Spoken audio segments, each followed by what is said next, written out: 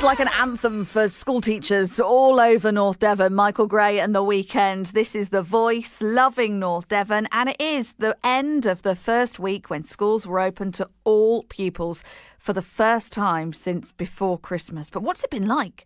Well, Fremington Primary School teacher Billy Buckingham joins us now. Hi, Billy. Hello, Laura. nice to see you again. Nice to speak to you. Now, we've stolen you from school for a moment for a quick chat. Are you hiding somewhere?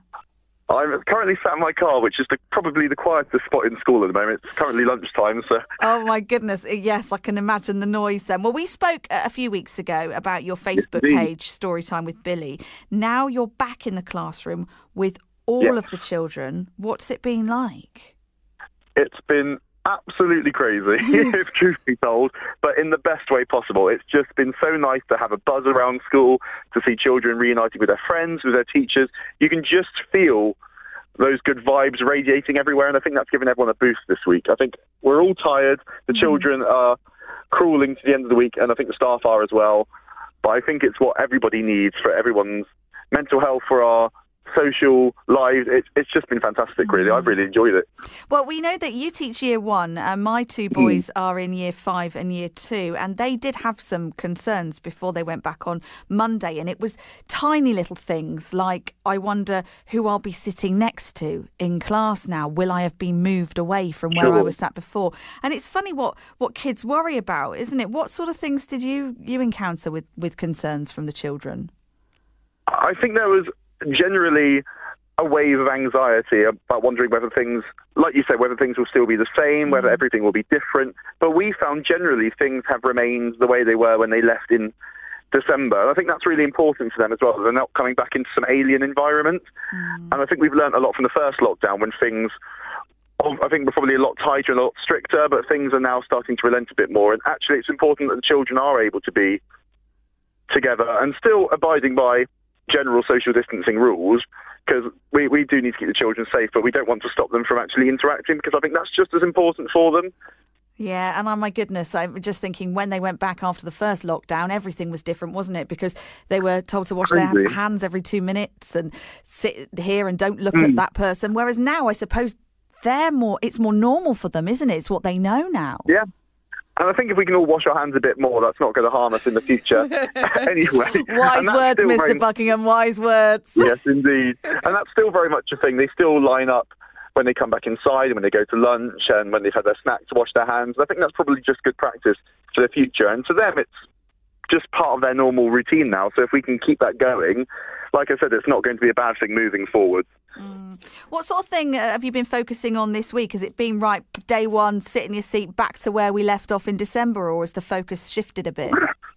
Well, well, I think it's different everywhere you go. I know certainly at our school that we've had a big focus on making sure the children feel settled and that they're happy and they're comfortable. Because if they've been away for, let's face it, almost three months, it's going to feel very strange walking back in for them. So definitely that first day was a little bit more lax in terms of teaching as such and just letting them play and be together. And that kind that's kind of what we do in year one anyway, that they have a mix of their carpet-based learning and continuous provision where they're choosing their own learning.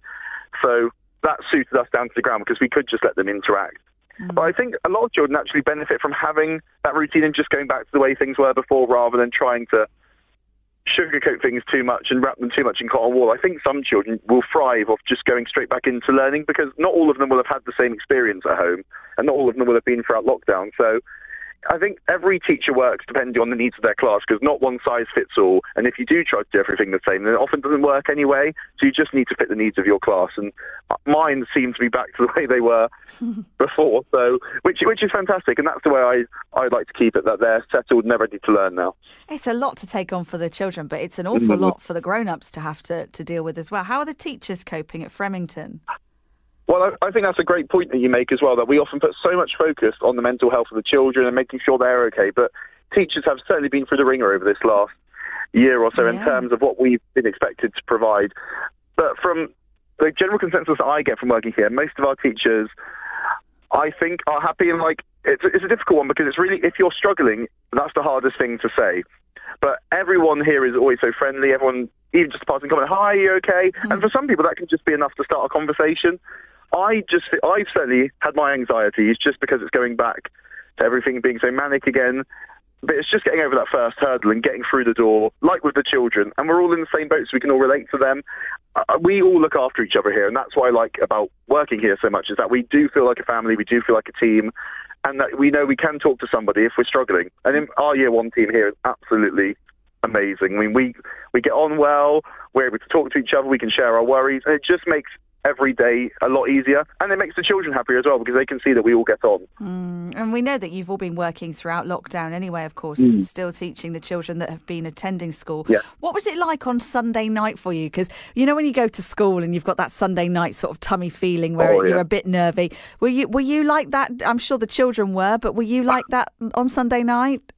I felt like the worry-saurus, if I'm honest. I, I, had those, I had those butterflies, and I think I, I tried to get an early night, but then you often spend your time overthinking and wondering what if this goes wrong and what if the children don't like me. Because for my class, I started this position in January, so it's the first time I would have met them properly. Okay. So I had all of these worries going in my head. But then you have to think back. Well, actually, these are all scenarios that are very unlikely. I'm overthinking.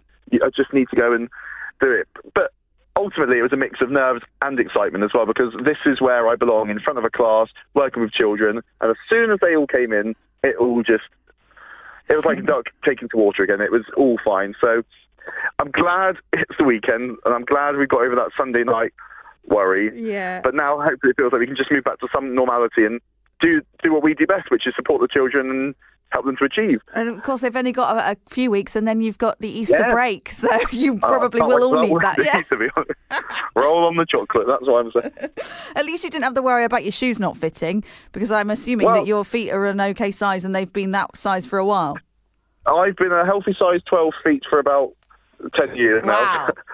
yeah, I know. So it's very difficult to find shoes anyway. But yeah, I think that was the concern of a lot of parents too, thinking, oh, well, my children have grown and yeah. shoes don't fit. But I think most schools have been very lenient, saying that we understand that it's not easy to go out and buy a uniform now.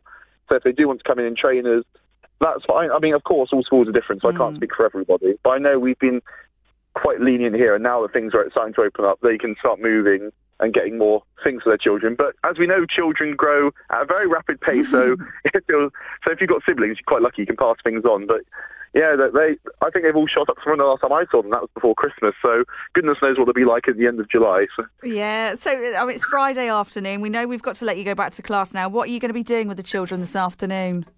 We've got some science to do, which is going to be quite exciting. And then I know the children are looking forward to that, but I think they're all looking forward to going home.